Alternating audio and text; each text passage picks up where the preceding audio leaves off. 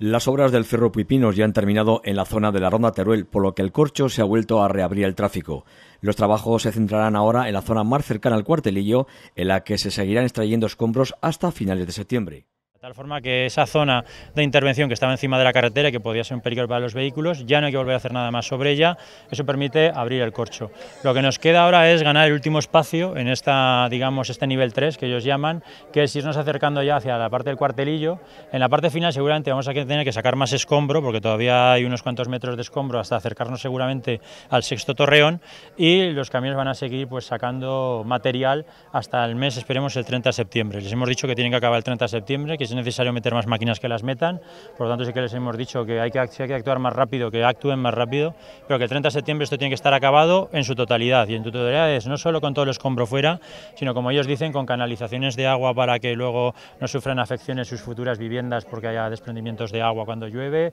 es decir, que esté la zona segura para... De forma paralela se trabaja en definir cómo será el futuro vial que conectará el corcho con la zona del cuartelillo. Pues la idea, estamos, ya estamos en la, en la fase de, de, ideas de anteproyecto, ya los tenemos y vamos a resolver muy pronto. Y a partir de ahí, una vez resolvamos, ya tendrá que presentar el proyecto definitivo en un plazo puede ser de dos meses, eh, donde ahí ya decidiremos. Y una vez decidamos, eh, de todos nos han presentado cinco proyectos, pero realmente hay dos muy solventes y que creo que son los que tienen más oportunidad. Y esos dos pues eh, decidiremos cuál es el mejor para la ciudad de Alcañiz, porque para nosotros es importante ese acceso al centro histórico con este nuevo vial que permitirá seguramente sacar el tráfico, pero queremos que sea visualmente y paisajísticamente, en fin, acorde al patrimonio de Alcañiz. Tenemos en muy pocos metros tres bienes de interés cultural, el parador, la casa consistorial y la iglesia.